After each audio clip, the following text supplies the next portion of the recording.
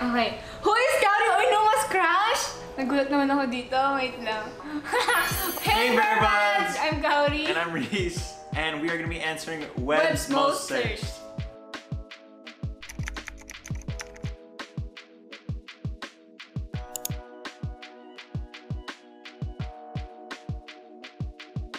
Okay, Burbads, first question. Okay, okay. Ayan. Yum. Where is Kaori Oinuma's hometown? Hometown ko, Burbads. Nueva Ecija, Kabanatuan. Doon ang pi- pinakamasarap na longganisa. Lugaw, syempre. Wow, proud yun. So guys, ito. Sagutin natin yung first question. What What is Reese Miguel's real name? My real name is Reese Miguel Eugenio. That's about it. okay. Second question. When is Kaori Oinuma's birthday? Soon! kailan? So, kailan yun? 22. Ah, alam niya. July 22. Ano naman guys.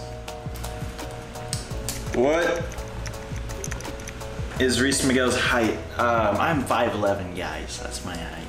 Shana Oral. Okay. Um, ay, mas natanggal. Okay. What is the meaning of kauri? Meaning ng kauri, mabango!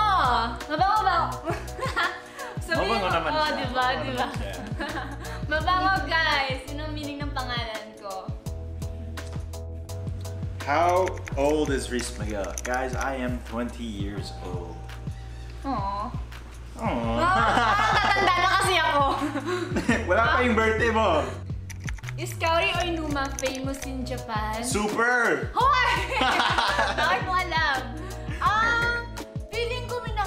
Nakakakilala sa akin. Pero hindi naman ganun as in super duper na sikat na sikat. Hindi super duper, super lang.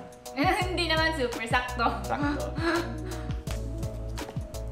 Does Reese Miguel have abs? Oh. Right now, Oh. not that many. Uh, but, you know, give me two weeks. Two weeks is the goal. Okay, next. Hmm. How many languages does Kaori Oinuma speak?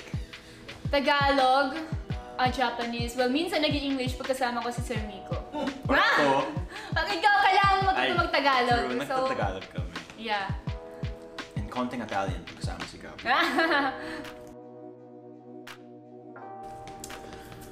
What is Reese Miguel's nationality? I am Filipino, pure Filipino, nothing but. Nah, I'm just kidding. I'm Filipino American. My dad is Filipino and my mom is American. Is Kaori Oinuma a Filipino citizen? Yes! Pero, um, yun, half Japanese, half Filipino. Pero pusong Pinoy. Yun. Proud girl. Proud ako, bakit? Um, what is Reese Miguel's first TV appearance? PBB. Totoo. I think so. Oh, may mga TVCs ka, di ba? Ah, uh, yeah. Mga commercials, guys. Pero hindi ko sasabihin kung ano yun. Okay. Hala, last two questions na lang.